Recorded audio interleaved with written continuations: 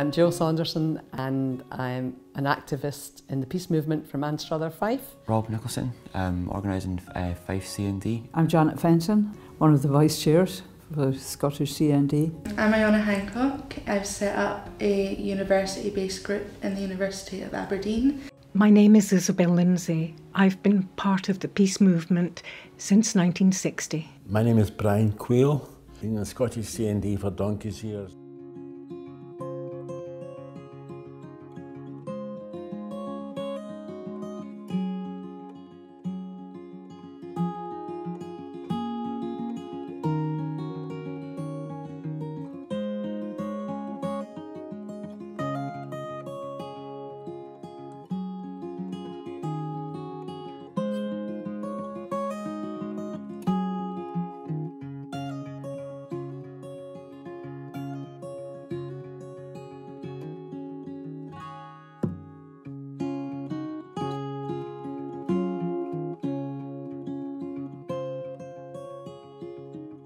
Joined uh, when I was 16. I, I joined the Labour Party, and there in 1960, uh, there were a few people whom I met, and we decided we would set up Lanarkshire CND. I was brought up in a very political house, and so um, from very early age, politics, and from late 50s, the nuclear weapons, the American submarines coming into the Holy Loch it was part of our chat around the kitchen table, and of course, I became involved in the Youth CND then. I got an email for the Peace Academy through um, my university, and I just thought it really looked really interesting because I don't believe that we should have nuclear weapons, but I had no real idea of how to go about protesting or getting involved. I've always felt like I wanted to get involved with something, but I wasn't really sure how. Um, and I feel as um, the best way to the best way to make a change something is to understand it. Uh, uh, CND rally, that's the first time I remember I was getting involved. A young red-haired man called Robin Cook made a brilliant speech. It was so powerful, I can remember the substance of his argument. And I was there in George Square and I thought, that is it. And then and then I joined CND. When I first got involved, it was a result of going to a poetry reading in a little shop coffee shop in Edinburgh. And in between the poems, they were reading excerpts from John Hersey's book on Hiroshima and what that meant. And I'd kind of grown up in the aftermath of the Second World War, and I had been encouraged to be aware of the Nuremberg trials and the efforts for peace in Europe I, from Edinburgh, which had a festival that was all about cultural sharing and mutual understanding. So when I found out that that had happened, I think I very naively imagined that uh, the US government would be taken to Nuremberg shortly after that. I mean, there's a bit of me that still thinks that should happen. So I just got involved. Well, as a small child, I remember the surrender of Japan. I remember the tram cars, ticket letters in the, in the window, VJ, VJ, VJ victory in Japan. And it was a universal rejoicing the war is over. Hallelujah. Well, since I've been a child, I knew about nuclear weapons. We called it the atomic bomb then. My father was in Hiroshima with British forces after the bomb had been dropped. So, I mean, we had in our house a, a melted beer bottle he'd picked up on the outskirts of the city uh, and one or two pictures. So really, I was always aware that this was a reality. I asked my mother about what was this thing called atom bomb. She had no notion of what the atom bomb actually did because no one. I think she had visions of people sort of being dematerialised and drawn up to heaven like motes in a sunbeam. Because at the time of Hiroshima and for many decades afterwards, very strong censorship no one saw human images of Hiroshima until 40 years when the, later when, the, when it was declassified. The films were declassified. One of the big political mistakes that were made by those that think these weapons are useful was that they actually let us understand what they actually did and what they were about. And that's changed. They talk about missile defence, they talk about nuclear deterrence. They've invented a language that has absolutely nothing to do with what the weapons are and do. The bomb threatens to rob us of time. While we're here in this room talking, there's a man sitting at a control panel in a Trident submarine waiting for the order to press a button. That'll be the end.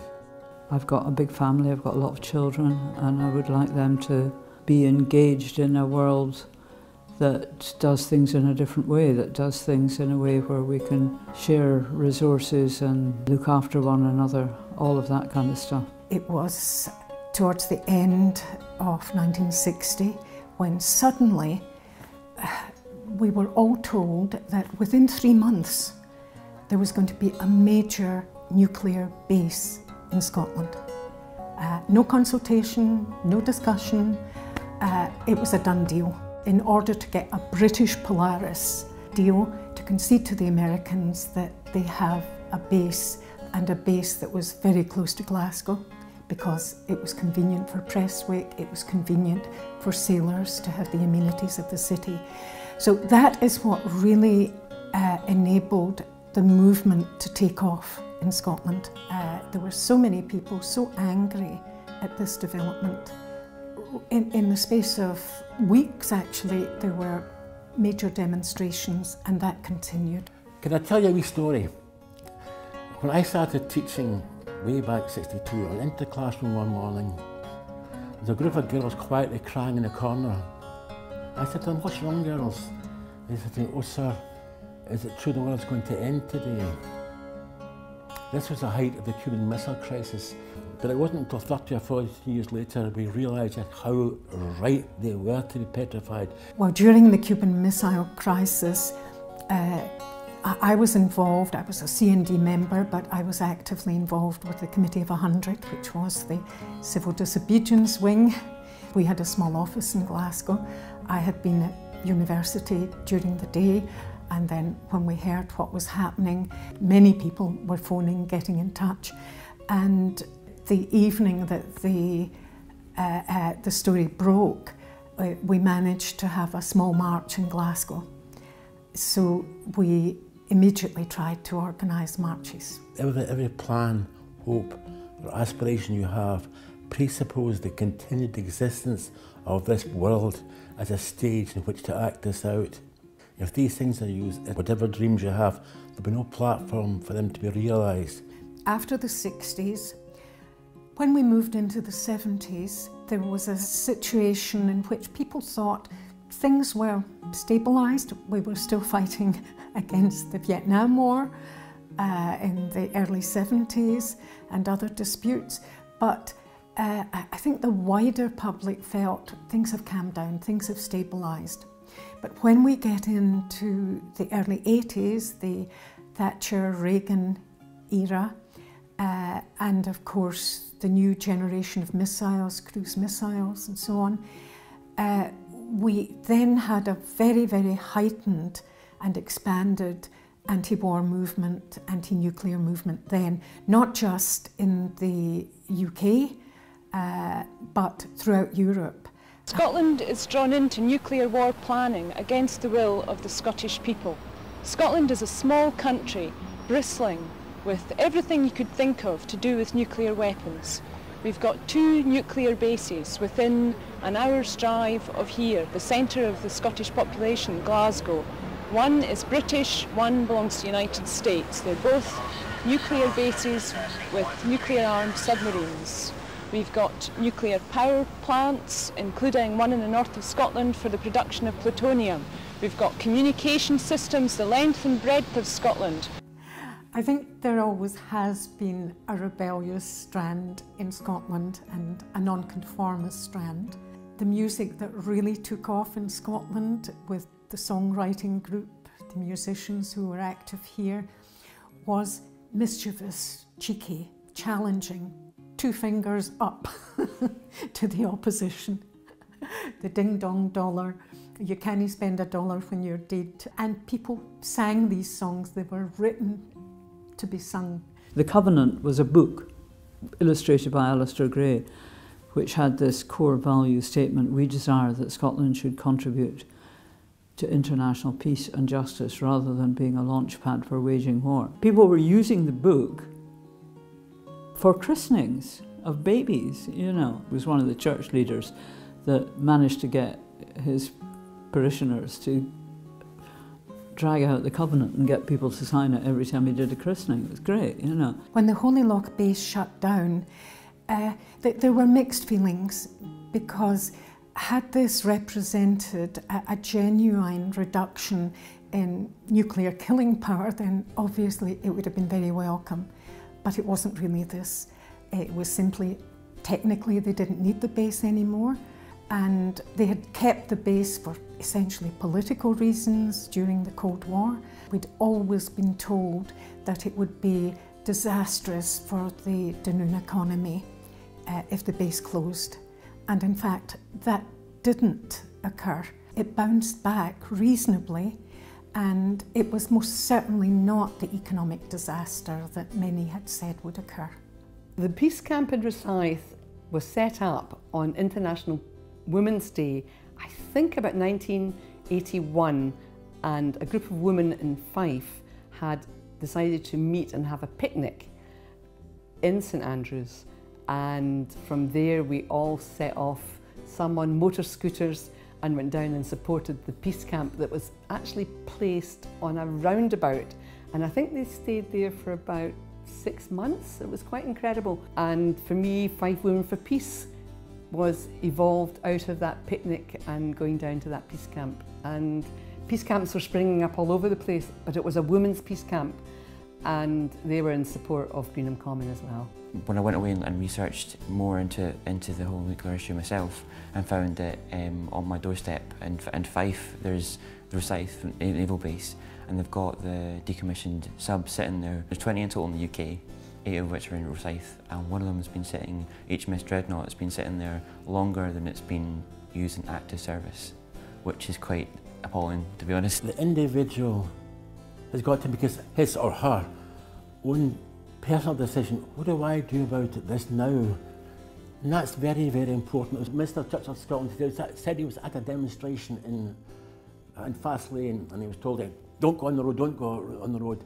And he's on the pavement. Everyone stays on the pavement. In this life, we all stay on the pavement. But he stepped off and he said, stepping onto the road, road was the most liberating experience of my life because he freed himself with his own fears, the mind-forged manacles of man, mankind. Our fears are forged in our own mind and they, they keep us back, they inhibit us. But he broke those manacles and walked onto the road and he felt a great sense of liberation. That's a very, a very profound thing that he said and I think it's true of everybody. If we learn to forsake the lifetime habit of craving obedience, most people just do what they're told. In the early 60s, uh, we, we were having to try and think of what different ways can we find try to focus attention on what's happening because the problem is that many demonstrations, uh, there are diminishing returns, that we had organised the first sit-down demonstrations in Scotland, but there is diminishing media interest and we still we need media we need communication to the wider public. Uh, we didn't have the kind of means of communication directly to people that we have today we had to think of imaginative ways uh, so on several occasions we had protest fasts in particular trying to draw attention to the terrible waste of resources on nuclear weapons when we had starvation still taking place in various parts of the world. So we had, a group of us had a five day fast uh, outside the Faslane base. Uh, we also had a similar five day fast at the Rosyth base. Difficult to communicate in many ways with the sailors directly. Many of them were made to feel uncomfortable, obviously, because we were in tents there and not eating. Rosyth was more difficult because some drunken sailors came, rolled us up in the tents and kicked us down a, kicked us down a slope. But th- there were no serious injuries arising from it. But it, it was a way of trying to attract attention to what was happening in Scotland. I met two Australians from Footprints for Peace. They were walking around the world for peace, and I became involved. And we walked from Dublin to London. I did six weeks of that, and then the following year we walked from London down to Portsmouth, and then from Portsmouth across the channel from Cherbourg to Geneva, which was 1,200 miles, and that took 12 weeks. And I, I'm very proud to say I walked all 1,200 miles. And the following year we walked from Geneva to Brussels, which was a further 1,200 miles, and a 12, further 12 weeks. And more recently, we walked from Iona to London, which was 800 miles. And we managed at the end to knock on number 10 Downing Street and hand in the petition and a peace crane hanging for the children. And I was very proud to have done that. And this became my favourite way of campaigning.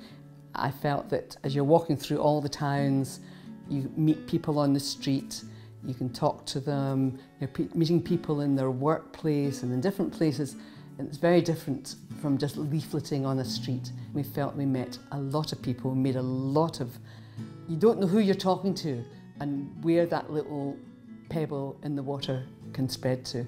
And I felt that that was my favourite way of campaigning. And I spent decades weaving daffodils into fences and very poetic and meaningful gestures and got nowhere. So the time has come, well, in my opinion anyway, that we've really got to be much stronger and more resolute and more courageous uh, in, in, taking direct action because it's for real. The, the, they, are, they are not kidding on. In the early 80s, Greenham Common um, set up a women's camp. Um, I was always very supportive of it, organised lots of buses to go down to demonstrations. There um, was an amazing demonstration, and the women, just by gently pressing on the fence, actually managed to bring down the entire fence in that area and it really showed what women's power without violence and just very gently. It's amazing what women can do. Well, four or five guys sitting on a, on a side of the road on, on a fence or thing and one of them said to me, hello Brian. I said, I didn't know him who he was but he'd seen me on Facebook or something. He said to me, are you going to stop the convoy today? And I, me? You know, just... I said, well, if I can, but I don't have much chance. One, and, and, and the, one chance of any chance of one person stopping it. And this guy, Alistair Ibbotson, said, right, well, I'll, I'll, I'll give you a hand. I thought, well, great. He crossed the road, went to the other side. And uh, saw Conway come round, the first vehicle through, and then there's a slight gap, and he walked out on one side and did that. I walked out the other side and did that. Oh, yeah, beauty, slowed down. It slowed down. And I yes! So Alistair sat under the, the vehicle, thought it's going to take longer to take longer to get me out. Now is the time and now is the hour. Either we have a future without nuclear weapons or we have no future at all. So while some things change, uh, the passion and the working together and trying to make sense of what's going on and challenge is just the same. We just need to keep doing it I don't like it. I hate it actually. There's so many other beautiful things I'd rather do in this world. I love flowers and plants in the garden, and I love people and history, music, many, many other things, but they're all threatened. I don't want nuclear weapons just out of Scotland, because as long as nuclear weapons exist, we will never be able to achieve any of the sustainable development goals. We'll never be able to feed ourselves. We'll never be able to tackle climate change. We'll never be able to devise systems of government that allow people to have control over their own communities and, and where they live in a realistic and free kind of way. We won't be able to address any of these problems as long as nuclear weapons exist, as long as they're in, un, under the control of a tiny minority, the tiny minority of men, and I say that advisedly, who decided to have them in the first place and who decided behind closed doors in secret to acquire these terrible threats to all of our existence. Horrendous evil we have already done. Apart from Hiroshima and Nagasaki, we've exploded over a thousand nuclear bombs, which have released tons of radioactive material, which is still in the atmosphere and slowly percolating down. The first thing, obviously, is the ionising radiation, which affects women's bodies so much more than it affects men's bodies. And the arrogance with which all the measurements on the impact of ionising radiation is, is based on the impact on a healthy young male. And yet, if you think about a nuclear weapon being detonated over a city, as happened in Hiroshima, a very high percentage of the people that would be impacted uh, in the, that are far enough away from the epicenter to survive are going to be women and children. So the, the actual impact on women's bodies and children's bodies enormously increased. So that's one of the reasons why it's a women's issue. Well, for many, many years, the women's role, not only in the peace movement, I think women politically, they don't believe that they should be political. Very uh, gendered views of how we organise certain aspects of society. It's that idea of equating strength and control and might and non-negotiation, secrecy, power structures and hierarchies as a way of resolving conflict. It doesn't work. We ascribe to men and then we insist that they behave according to those roles. The other approach, which is ascribed as a female approach of listening, negotiating, uh, meeting people's needs, making people feel safe, uh, and not undermining them. The, the people that are working like that, these are all the female qualities. These are the ones that will actually resolve problems and would prevent nuclear weapons from ever being developed in the first place, let alone continuing at this, at this point. We all know in our real lives, in our family disputes, it doesn't work. So often you hear women still saying, oh, I need to ask my man what he says. We don't have a divided house here. And actually women need to know the link between how their lives are and that politics and nuclear weapons, they actually have a say in it and their voice is important. An example of a guy that was uh, one of the early um, diplomats that was engaged in nuclear weapons diplomacy and one of the things that they were talking about was um, how many people this particular weapon would be required to kill in order to be effective. The UK's idea of enough nuclear weapons was enough to kill enough people in Moscow to ensure that the state was no longer able to actually function. So they were having this conversation and this guy suddenly thought, wait a minute, what we what are we actually talking about here? And he said, but we're we're talking about these people's lives. And there was absolute silence. And he said, I realized I've made a big mistake. I'll never do that again. I felt like a woman. Going through the experience I've had with the peace movement, it's given me um, hope, sort of knowing that there, what we said before, knowing that there's other people out there that feel the same, and it's kind of inspired me. Uh, so more worried because we, we, can still fix things, we can still change things. It's just it's just about coming together. I think the most um, powerful moment, memorable moment, was the the talk from um, the survivor of the Hiroshima bombing. Um, his his um, detailed um, story about, about what his family went through kind of put a real like human context on what these things can do and why right now, especially with everything going on with the UN, is a really important time to try and um, get our voices heard. I think it's important to stay engaged because it affects us the most, um, where eventually we're going to have to deal with it too. So, in my eyes, it makes sense to start early and learn about things earlier so that you're better equipped to deal with it, regardless of what you believe or like how you believe it. I think at least educating is a good start that will prepare you for when you actually do have to do something about it. But I think there's a lot of suggestion that young people are less engaged or more apathetic. And I, in my optimism, don't actually think that's the case. Uh, when I see people like you, uh, my own children, and uh, how engaged they are, how much more knowledgeable that they are. I think a lot of young people um, are really passionate, but they don't know how to go about it. Um, and I think that passion is so important and the main thing that they, they could bring.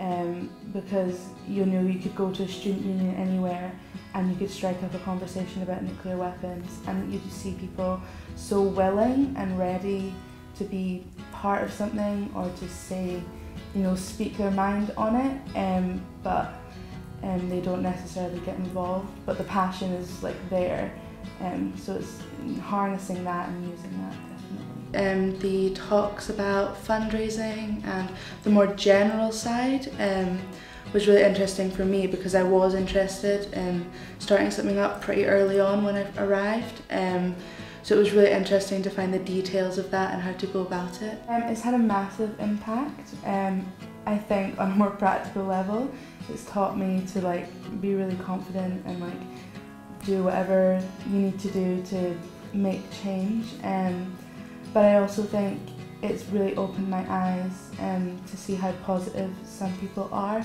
about the movement. You know, before I went to the Peace Academy, I sort of thought, oh, that's really awful, but no one cares. You know, no one, like, it's just a thing we have to deal with. We have to deal with nuclear weapons. Um, but doing the peace camp and then meeting others as I've sort of started to create something in Aberdeen um, has made me realise how many people actually do want change and how they're really willing and able to do it. It's really inspiring.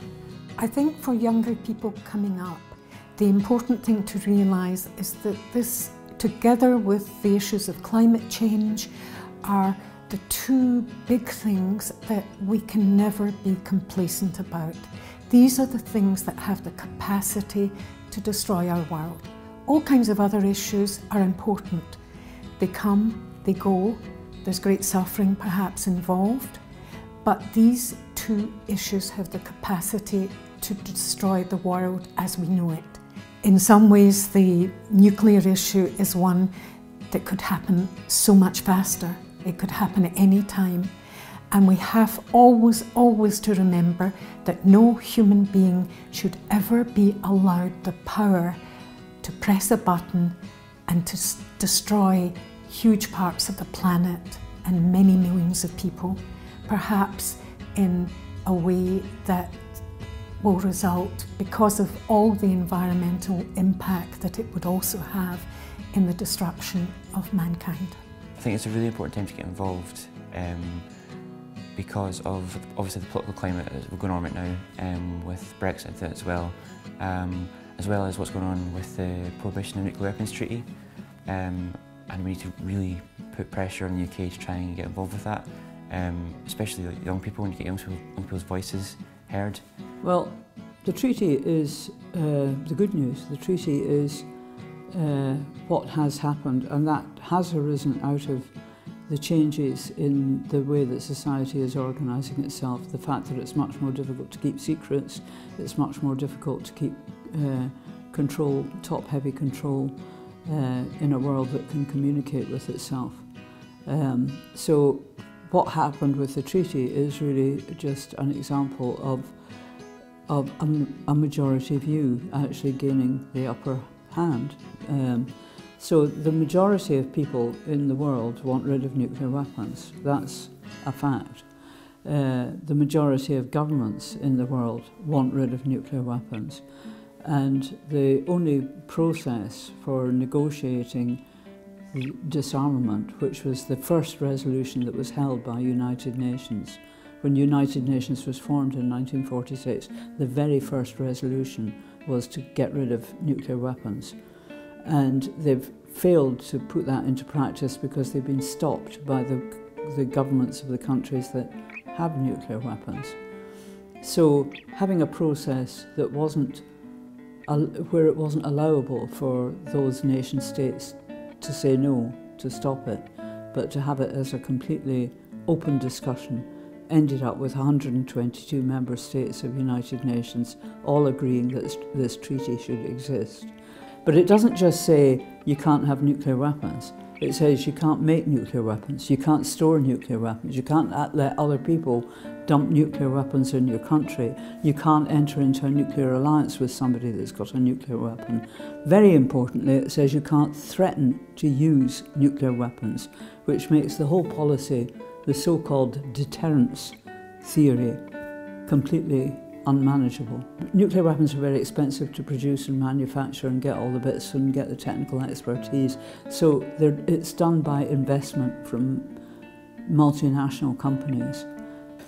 Uh, even before it enters into force, it's already having an impact on governments around the world. The, in particular, through divestment. There's been 50 major financial institutions that have divested from nuclear weapons since the treaty was adopted at United Nations. You cannot say that the UK has a democratic mandate to renew its nuclear weapons. It's not just like a minority view in an opinion poll, it's actually people have voted for politicians that don't support nuclear weapons. Scotland is the uh, is unique in that it is the only country in the world, and we are a country, we're, we're not a state, but we're a country within a state, and we have the capacity to disarm a nuclear armed state. But here's a cosmic joke. The doomsday clock, which is maintained not by peace fanatics but by uh, international scientists, the doomsday right clock right here now today, it is closer to midnight than it's ever been at any time in the past, even when those girls were crying with terror in my classroom. It is closer to midnight now than it's ever been, but nobody's caring. We are so normalised and habituated it, to it that we don't see it. Remember your humanity and forget this. It's a moral issue which dwarfs all the others into relative insignificance, and God knows that the others are, are important. But this is a prime moral, moral issue. Either, either we choose life or we choose death. There are a lot of people that think nuclear weapons are a good idea or they keep this peace for 70 years. A lot of them, if they're in the military, they choose to change their minds when they retire. People don't change their minds in the other direction. They really don't. The most you get is, is people that will politically change allegiance without any real commitment.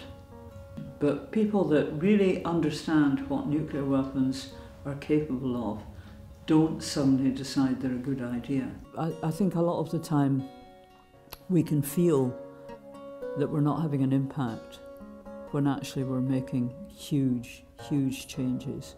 And when you think about the Berlin Wall and the point at which the Berlin Wall came down. Suddenly, you know, it seemed it was there forever, and suddenly it it happened.